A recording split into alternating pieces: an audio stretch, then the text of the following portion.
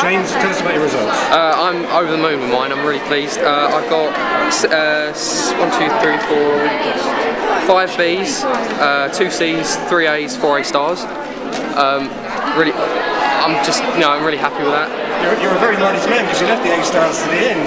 Which of the A stars, small for choice, are you most proud of? Oh, they're all a part of one subject. So it's my BTEC sport, so it's like a diploma in sport. So I'm sort of fairly happy with that. Um, ICT, uh, I'm really pleased with that.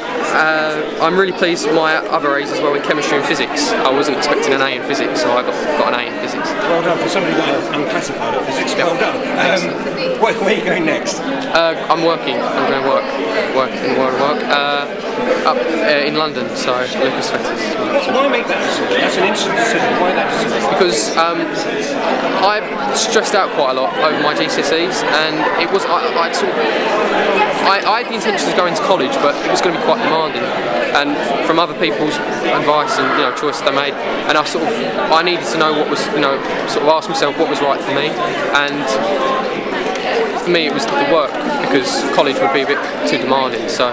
What help did you get from your school? Um, I, a great deal of support, um, as well as uh, you know, I sort of really helpful in terms of like whenever you ask stuff, they're always there to help you out, give you advice and support.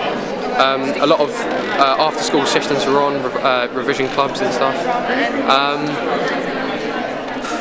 that's a, yeah, that's fine, cool. But you would recommend, you know, students thinking about, what's your advice to students going into year studies before anything else. Um, you have to plan and be organised before the exam season because if you're not, you know, what work you don't put in, no one else is going to put it in for you. You're not going to get it done. So you have to set yourself the time, organise yourself, and pro program program yourself to get the work done, so that you're not rushing two weeks before your exam season.